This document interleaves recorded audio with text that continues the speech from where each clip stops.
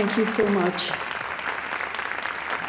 As I observe you all, and especially Maryam Rajavi, her attitude, her poise, her resolve, and I hear her words, I am struck and impressed by the contrast and significance between this woman, a truly exceptional leader, hoisting with courage and determination the flag of resistance, of democracy, of fair elections, of human rights, of the rule of law, of gender equality.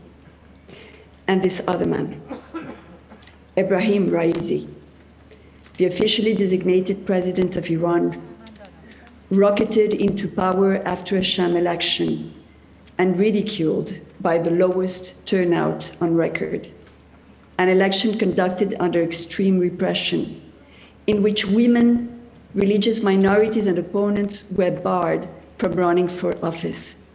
An election where citizens were intimidated and journalists arrested to prevent them from informing about this man, the former head of the Iranian judiciary, known also as the butcher, the butcher for his crimes against humanity, the mass murders since 1988 and until today, the enforced disappearance and the tortures. Ebrahim Raisi's response to reporters when asked about his involvement in these killings was that he should be praised for them and that he was proud of his work. In contrast, Maryam Rajavi claimed this year another impressive victory against impunity with the condemnation of Iranian diplomat Asadullah Assadi for trying to bomb the 2018 annual gathering in Villepinte in Paris, where many of us would have been slaughtered. This is the sheer contrast that we are witnessing. This is the reason we admire the Iranian resistance, and this is what moves us year after year to come and join you all and proclaim our resolve in fighting the Iranian dictatorship by your side, no matter the mask he chooses to wear. Ahmadinejad, Rouhani, or Raisi they are all one and the same. They are all part of this bloodthirsty monster sitting in history with contempt for the values we share, thinking that they will be the long term winners because they can get away with lies and bravado, outplay us using our divisions, playing with our governments that come and go, and with the contradictions of our short term strategies, sometimes wanting to confront them and sometimes trying to negotiate with them. They have been right about that to some extent, but not anymore, because they are already defeated and they know they won't prevail. The end is here, and it has a name and a face. The name is the name of every Ashrafian and the face is the face of you, Maryam Rajavi. It is because of the example of your resilience and determination that young people in Iran are daring to defy this homicidal regime, burning images of Khamenei in daylight, chanting death to the tyrants, and claiming their rights at the risk of their lives. These young girls and boys have never known better. They were born under the tyranny and have lived all their lives under repression. That was their all time normal. But they heard you, and you have awakened them and given them a new horizon. You, Ashrafians, are the archive of the nation, the source from which new generations can learn about their own past. The memories of your lives are narrating to the Iranian youth how they were dispossessed of their future. How, after overthrowing the dictatorship of the Shah, the mullahs robbed the fight of their elders and brought Iranians into slavery.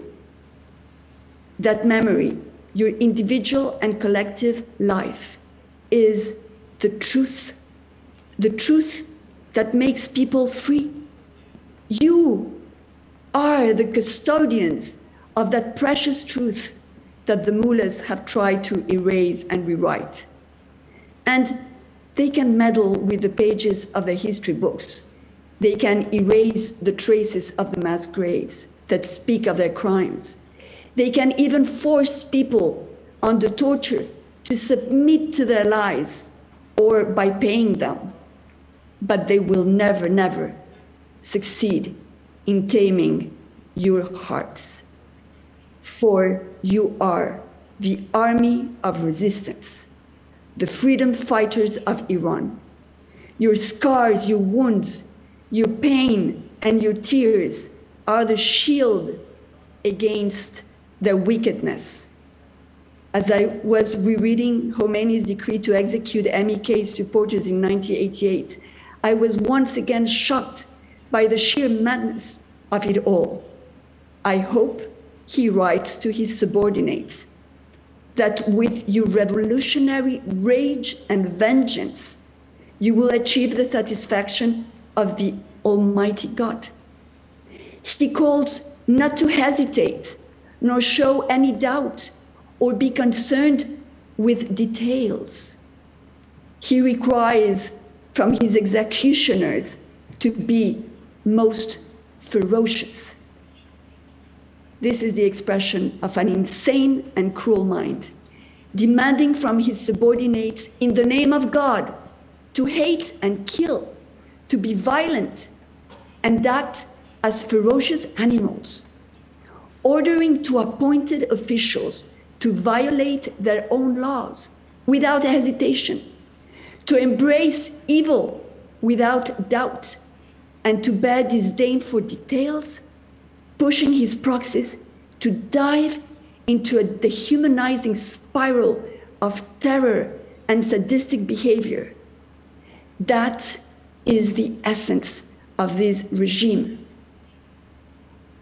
To confront their dehumanization, you have equipped yourselves with the noblest of all human emotions, with love and fraternity, with solidarity and compassion, with hope and joy, all of which I have personally witnessed while staying among you in your camp. You are an army. You wear uniforms and you live in compounds. But what keeps you together is not the hatred, the fear, or the rage, the vengeance, and the ferociousness, but the dignifying thirst of justice and truth, and the immense transforming power of the love you share for your country. It is because young Iranians know this that they are following you.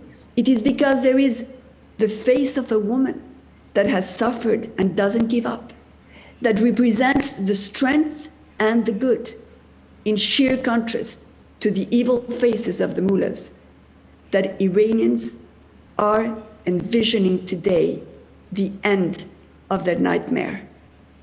It is because of you, Ashrafians, that people in all the different regions of Iran are organizing themselves.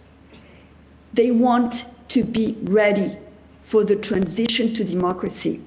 Maryam Rajavi has promised them the sacrifices each of you have made, every drop of blood and sweat, every expression of hope and affection, every single effort you have accomplished to survive has brought fruits. Nothing is lost. Every word is blooming. You are the end of the tyranny. Each one of you is the key to freedom. We are here with you, not thinking that any of us can do anything better or greater or more defining to bringing down the dictatorship than you. But we are here knowing that you are irreplaceable and indispensable for the survival of Iran and his resurgence. With our admiration and our faith in your triumph, we want to magnify your achievements, honor your heroic choice, and stand by you. Because this is the time to march forward at the pace of victors until you win. Thank you, Maryam. Thank you, Excellencies. Thank you very much. Thank you very much.